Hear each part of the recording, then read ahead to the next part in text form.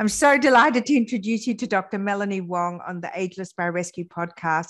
It's always a pleasure and delight to have the very top experts in a particular field and the field of immunology and allergies is is you know one of the most um, uh, areas of, uh, of topical importance in a post-pandemic world. Uh, Dr. Wong, thank you for coming on the show. Thank you. Dr. Wong, your qualifications and background and the advisory boards that you serve on are manifold. I'd love you to share with our audience just some of the things that you're involved with in this area of expertise. So I think I'll just briefly say that I'm a pediatric allergist and immunologist. Um, I have a passion as far as developing uh, in, and expanding our treatments and diagnostic abilities for people with immunodeficiencies, particularly children, but also adults, and also for people with allergies and, and autoimmunity and, and other disorders of, of the immune system. Um, as part of what I've been doing, I've been a past president of uh, uh, the ASCIA, which is the Australasian Society of Clinical Immunology and Allergy. And I'm on a number of, of strategies, including the National Immunodeficient, Immunodeficiency Strategy and also the National Allergy uh, Council, both of which are, are very, sorry, I'll start that again. Um, can I start that? So, but, but both, both of which uh, um, are aimed at advancing the, the community awareness actually of these, these disorders and also trying to uh, increase funding for, for some of these areas. Um, one of the, you know, as a parent, um, the first time you become a, a I guess, unless you have an autoimmune or allergy or immunology issues, the first time you become hypersensitive to um, these areas and these issues are during pregnancy or you know when you first send your children to school and you start becoming very aware of other children who may suffer from allergies or immunology issues um, and uh, of course you know we were saying before in a post-pandemic world immunity has become such a buzzword where we're so aware of our immune function and and um, the, the topic of discussion has become huge. Um, one of the things that I was really interested in the research and the uh, press release that I got from from your organization was that there really is an opportunity to catch, test, and then modify treatment protocols if you test and um, understand any immuno uh, susceptibility or allergies early on. I'm interested to hear from you. What are some of the things that we can do now you know, uh, in utero or um, in early infancy that could really help uh, doctors and, and families um, treat and plan better? So, this is a very broad area. I'll, first of all just perhaps talk about what was involved in this press release, and that, that is actually directed at establishing newborn screening. So, this is the Guthrie card that people uh, probably recognize as, as blood taken from the heel or heel prick of uh, babies at about the second or third day of life. And that screens for a number of very important disorders in babies where the children usually look pretty normal in the first few months of life and then have developed uh, potential complications from disorders that could be preventable if that diagnosis was made early and treatment was started early. So from the point of, and, and many of those are metabolic disorders and people will, will know of things like cystic fibrosis, um, and hypothyroidism. From the point of view of immunodeficiency, this is uh, specifically one of the rarer types of immunodeficiencies, and I'll, I can talk about other things in a minute, but, but this is one very specific problem called severe combined immunodeficiency, which is SCID for short and people might recognize that because of a number of um, a, a, number of movies and and papers and, and, that have been written about the bubble boy which who was a, a boy by the name of david vetter. That's right. I mean it really captured everyone's imagination. I think it was about 20 years ago right? That's exactly right. So this boy unfortunately had one of these genetic conditions that caused SCID. And in this condition the immune system is very much at, um, deficient, such that over time, the babies end up getting infection after infection after infection from about the age of two to four months of life. And if definitely, if not recognized, uh, die very early in their life. And even if it's recognized and treated and they don't have a definitive treatment, which might well be bone marrow transplantation or gene therapy or other therapies as, as we can develop those over time, these children will usually die before the age of two. And you start by thinking they were completely normal when they were born. And if we can actually recognize that disorder before they got sick, start the treatment and prevent them from getting sick, then at the end of the day, we, we end up having a completely normal child, then adult, who hopefully has a completely norm, normal lifespan. And as opposed to someone who might pass away before the age of two with, with a horrific course in, in um, often in hospitals. So, so a big difference depending on what we do the the point that you uh, raise is is really important because you're saying that this test is already available in hospitals. So um, so I understand that you know uh, all children that are born in Australia, let's say, are already having the Guthrie test, the uh, the pre test. And are you saying that there are other tests that could be added to this that could help our understanding, or that this test by itself is enough to pick up on um, any of the these more severe uh, immunology issues or autoimmune di- diseases? So, so this is just, just to clarify, the Guthrie test or the newborn screening test is the ability to collect the blood in, in that first couple of days of life. And then you can potentially look for a number of conditions. And our issue is that the number of conditions that you can look for is limited, often by cost and, and logistic issues. And particularly for the newborn screening for SCID, this is something that we are looking at adding as a routinely available test. And so across the world, uh, for example, if you're born in America, every state in America actually has added newborn screening for SCID to their programs. And we haven't. We have not, oh, and I will come back to that. If you were born in New Zealand, the same thing happens. So, for example, one child fairly recently who had been diagnosed with SCID in Australia had um, the, the family had come from America and were in Australia for other. Uh, and I, am not going to go into the details, but we're in Australia where this child, when this child was born, and that child's mother had said, "Well, look, if we'd been, if he'd been born in America, we would have had it picked up, but being born in Australia, there was a delay and obviously a lot more complications than otherwise might have occurred. Um, so there is disparity there and, and lack of fairness. And, and there are many countries in the world that are now adding progressively this ability to screen uh, to their newborn screening program.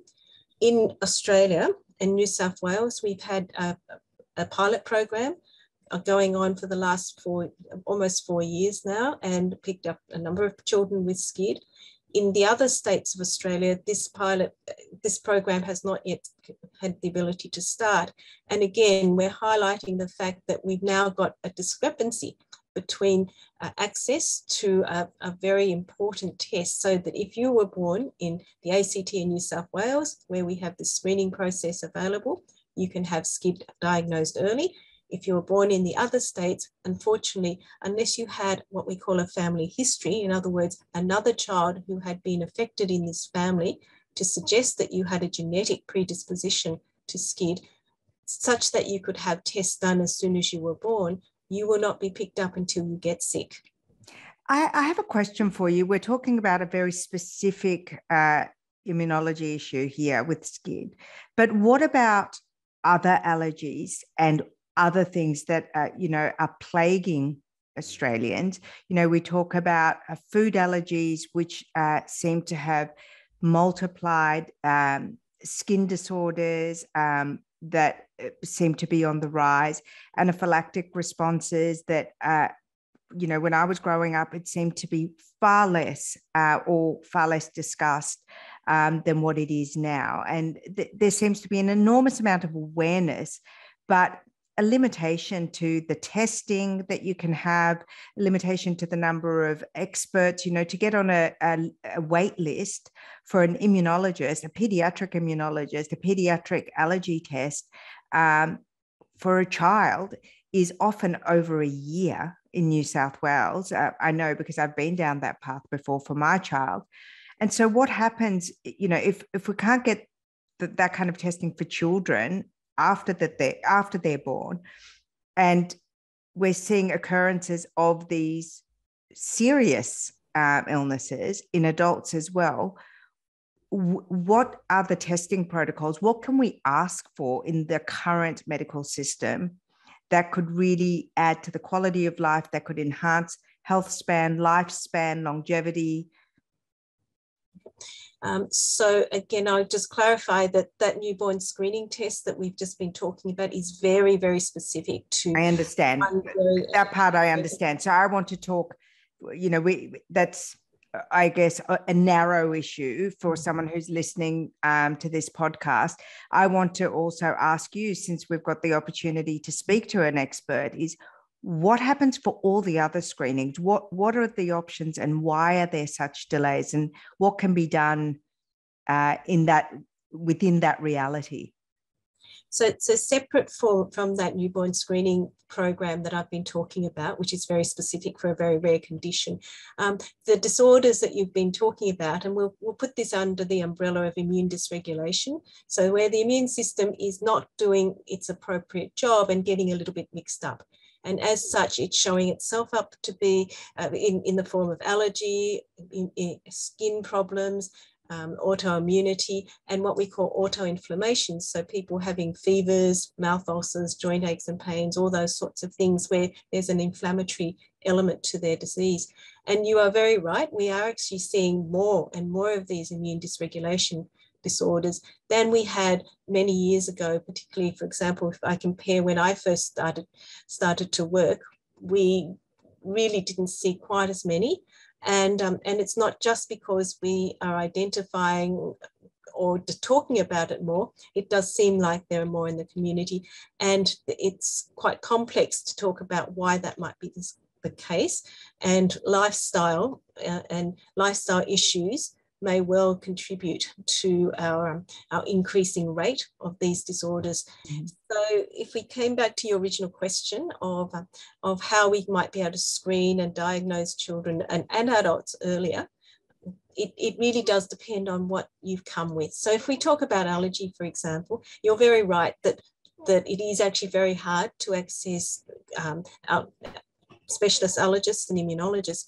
But at the same time, we're, very, we're trying very hard to upskill other people in the community, including GPs and general pediatricians and physicians, in, in order that they can help with the screening and management of the more straightforward conditions. And so hopefully that will alleviate some of the issues that people face.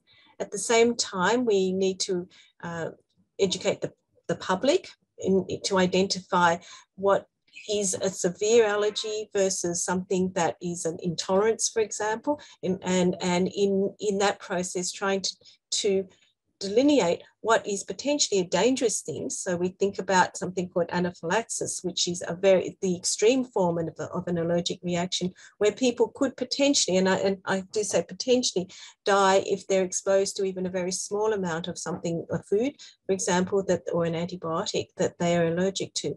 On the other hand, you can have an allergy which only gives you a bit of a rash or only gives you a bit of an itchy nose, for example. And, and so we know that, for example, people, a lot of people have hay fever.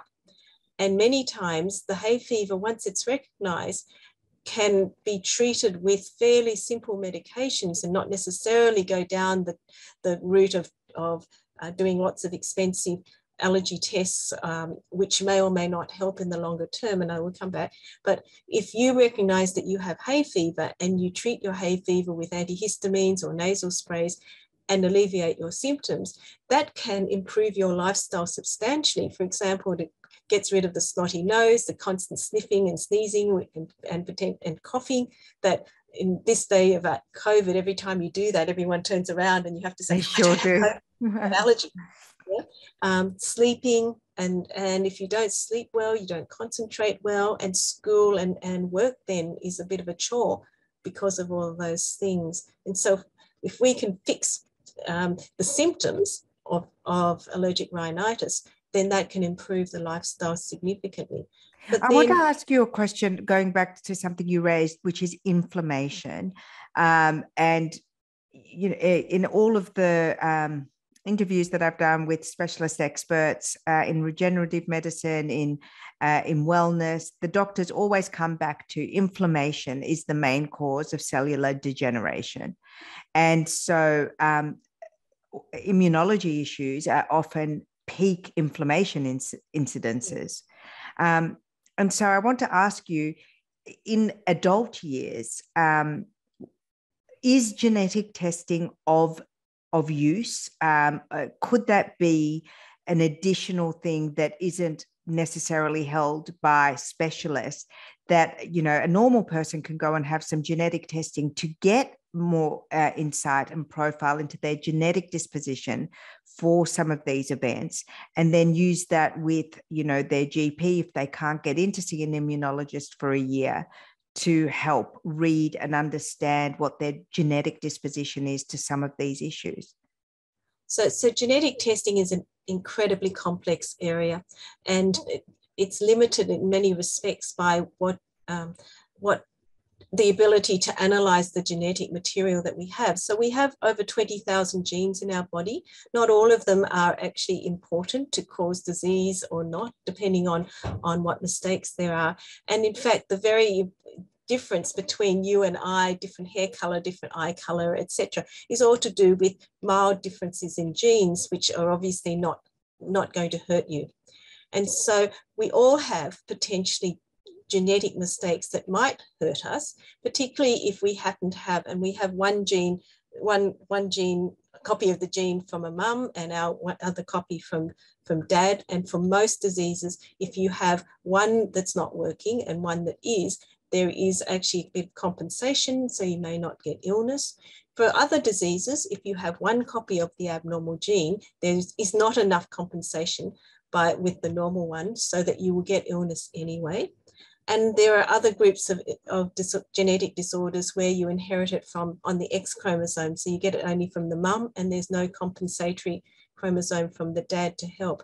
And I highlight this because um, for those sorts of genetic diseases, which we call monogenic diseases, you can actually potentially find a genetic mistake and with with uh, computer technologies and a lot of uh, looking at the, uh, sorry, experience, looking at databases and, and looking at the literature, work out, but, but because of various features, that these are what we call pathogenic. And they can then highlight that you have a particular disease or not, or you might be what we call a carrier of a particular disease or not. And in a sense, this is actually now a fairly small group of, of clearly, of hopefully more defined issues. But at the same time, there's a big, big, big population of people who have diseases that might look like some of these, what we call monogenic diseases. And when we go and look for genetic causes, we're somewhat disappointed because we don't find it. And in a sense, if you think about the numbers, if I have someone that I really, really think has a particular monogenic disease, and I do a genetic test of a whole lot of genes trying to find the, the cause, we probably only find the cause in about 40 to 50%, which means that even if we have a, what we call a really high pretest probability of, of it being genetic, primarily genetic, half of the people actually haven't got something that we can find. And the importance, though, of finding the ones that we can find is that it can sometimes give us pathways for which to direct our treatments, to give the right treatments. That's um, exactly um, right. And not waste time.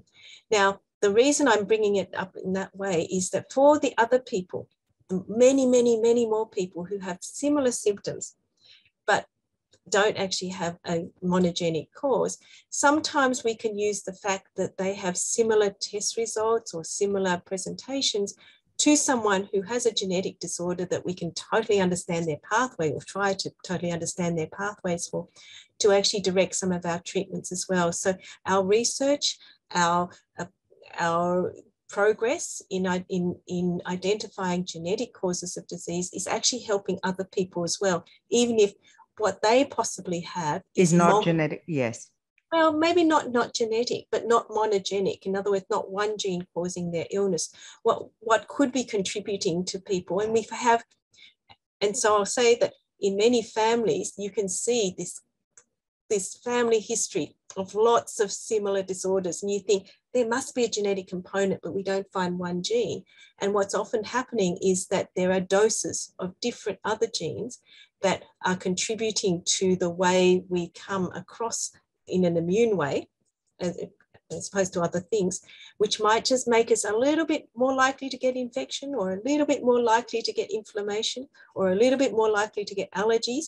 And you add a few of those genes together and you get not, ne not necessarily one of these monogenic disorders, but something that looks like it and which may actually respond to treatment like, like them.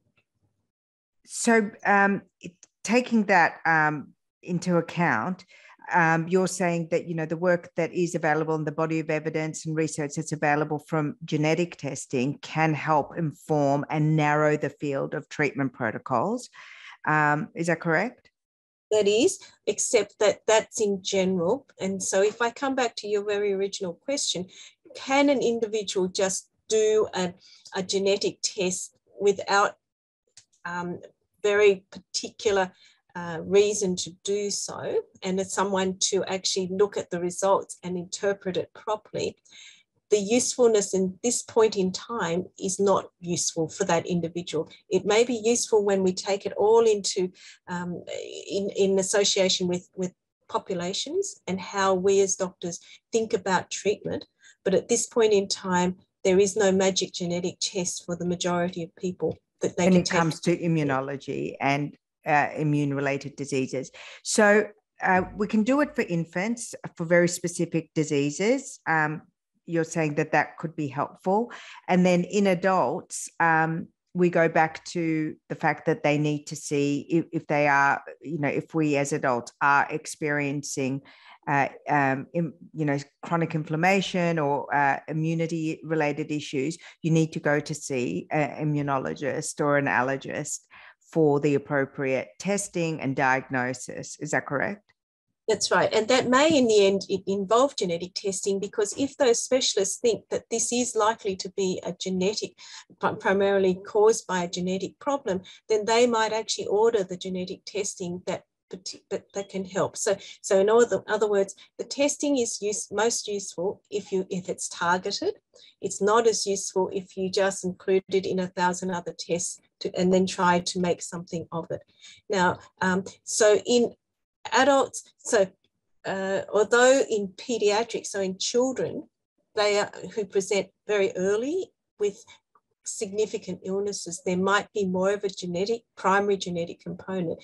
We can see that these issues in adults as well. So it's not that adults do not have genetic disorders that, of course, that I, I understand.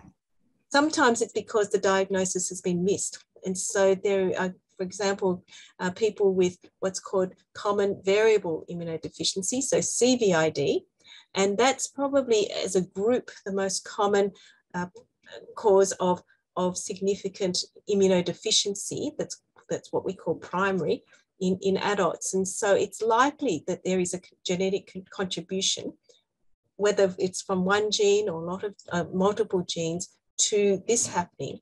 But in a way of trying to describe it, it's almost as if the immune system run out of steam. So it's okay when you're little. And then as you get older, there's more and more infections. And often when they're little and things are just starting, the tests can be actually fairly normal.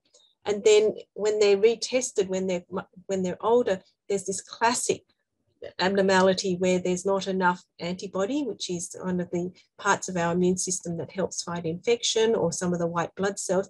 And it's laid down as there, and you say, well, this is CVID. But when they were tested earlier, it wasn't it wasn't able to be detected and so there can be a delay and in that in that time there can be scarring of the lungs, scarring of the ears, other, um, other influences on the gut and, and, and things like that, which can actually make it make life much harder and it might be harder to undo, particularly, particularly if there is scarring of the lungs.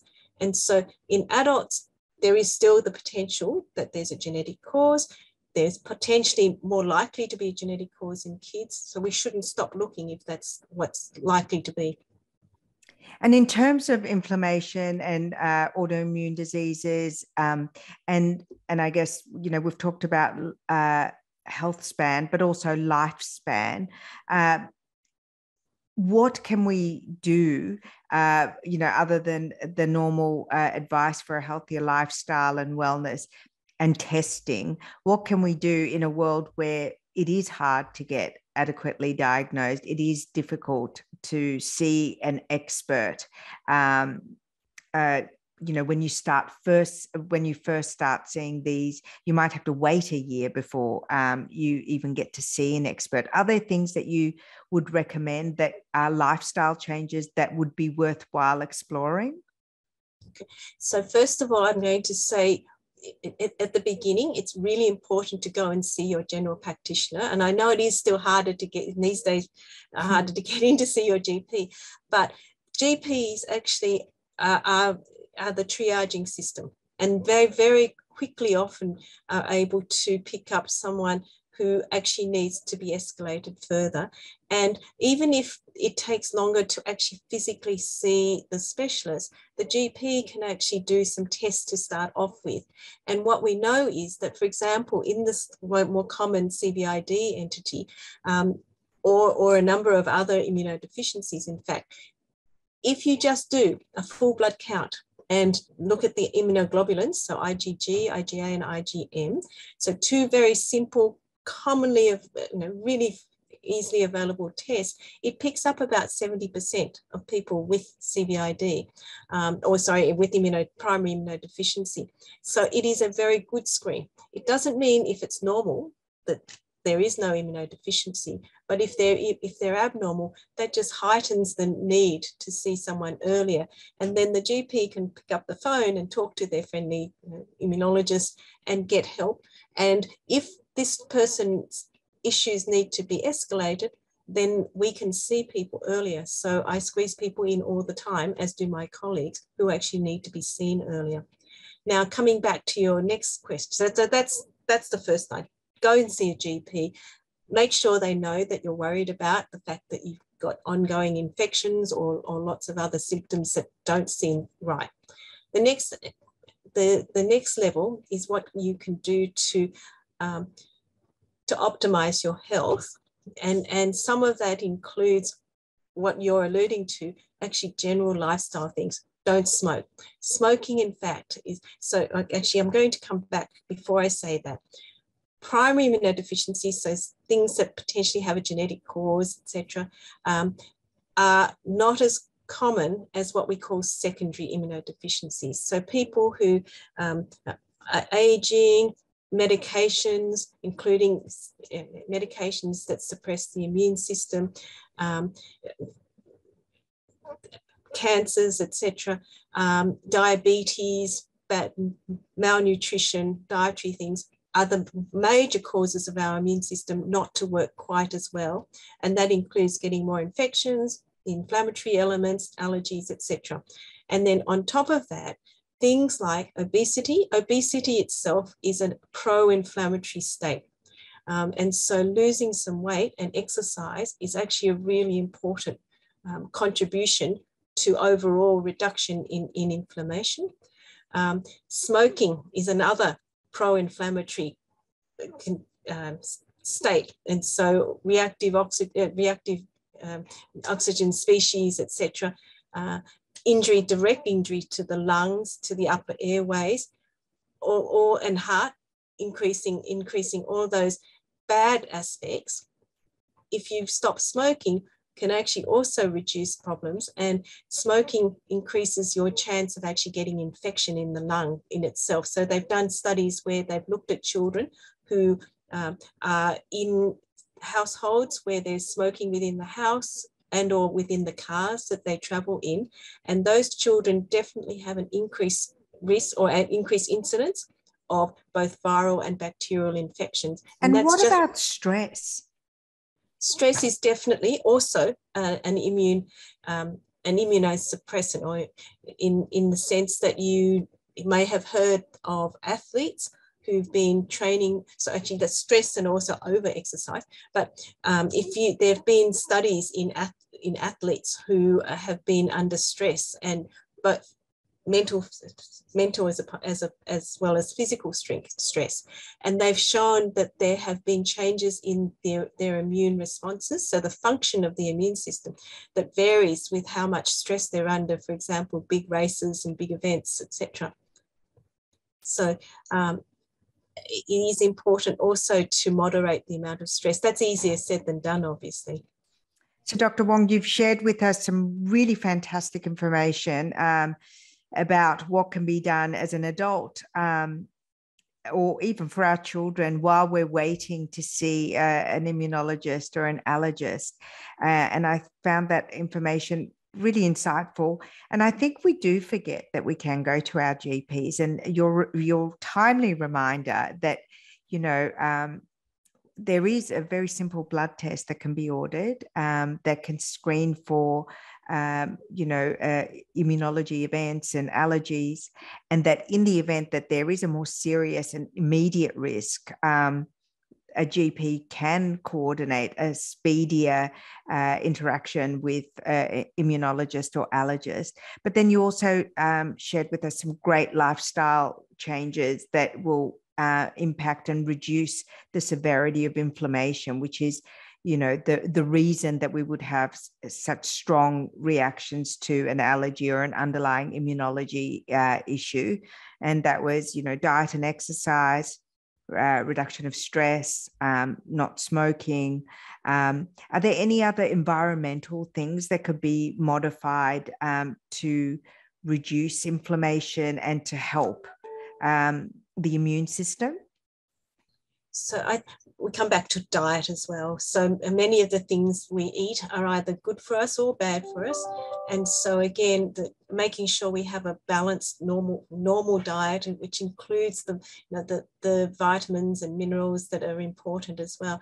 Um, vitamin C, zinc, selenium, that sort of stuff is really important. And I'm not saying to go overboard, and I'm not saying that you have to go out and, and buy lots and lots of multivitamins, um, but, but having a balanced diet really helps there, there is more and more evidence that probiotics of certain types can actually help our overall all, um, immune defenses and immune regulation as well. And I also come back to children and making sure that we remember that breastfeeding in the first few months of life is actually really important to help protect against infection, but also help to moderate our, our immune systems, reducing the incidence of allergy, for example, um, is, is definitely something that breastfeeding in the first few months of life it, it has been shown to do.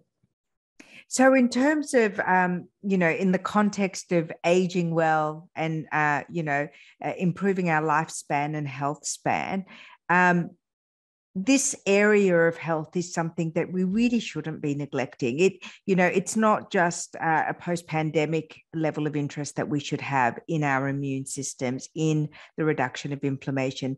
This should be a conversation and a priority as part of you know addressing um, cellular wellness and aging well and living well. Absolutely. Absolutely uh, and we forget that there are many things that are not dependent on medications that we can actually do to ensure that we have, uh, have healthy lives, long healthy lives if we can. Well, I want to thank you again so much for sharing that insight and, uh, you know, and for raising awareness that Australia is a little bit behind in offering that test for the SCID. And, um, and, and I'm sure that, you know, just by raising the awareness, it, it is something that, um, you know, parents uh, of newborns or soon to be parents, uh, they can ask for it. Is there anything that you can do to expedite this being added to the list of routine testing? And in fact, this is actually being assessed at the moment. So we have put in, um, as a community, applications to the government to add this funding. to and and you you may well have seen some of the the information that's out there. So this test will cost about $10 per infant, which is when we talk about screening, a significant amount of money. So obviously needs to be assessed to make sure that it is cost effective for our community and it's not wasted money. But we certainly have lots of evidence to show that it is cost effective because any of these children who have SCID actually, when they get very sick, can actually cost our health system a lot more money than the amount of money that would be spent screening. And so this is has been and hopefully will be an, assessed and and a, um, a decision made, which might help us then have the funding available in in Australia. And, and the, the important thing there is each state actually is responsible for their own newborn screening programs. And so it is a state by state decision. And the more support we have within states to for government to do this is, is actually really important. And you may have heard very recently that um, there have been a number of programs that for genetic testing in, in, in children as well as adults being being approved for funding and part of this program hopefully will allow this, this to be introduced as well. And I'm just going to get you to remind us once again what is the blood screening test that we can ask our GP for? Okay, so what I was talking about was particularly from the point of view of people with recurrent infections. Yes. Um, and so a full blood count, because counting some of the white blood cells and also looking at particular characteristics of, of some of the white blood cells, plate, the platelets and the red cells can actually help um, point us in, in directions for diagnosis and the antibody levels. So IgG, IgA and IgM. And then on top of that, the GP can actually add other tests that may be particularly useful. That includes screening for celiac disease, screening for um, signs of inflammation, which so there are blood tests to do that.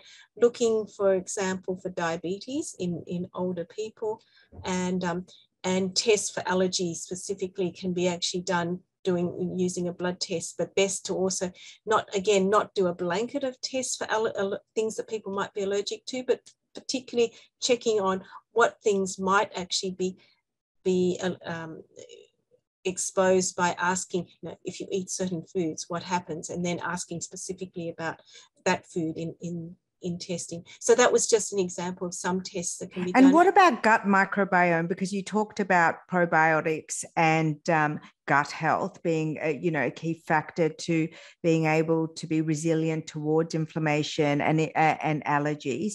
Um, is that something that we can also request at a GP level?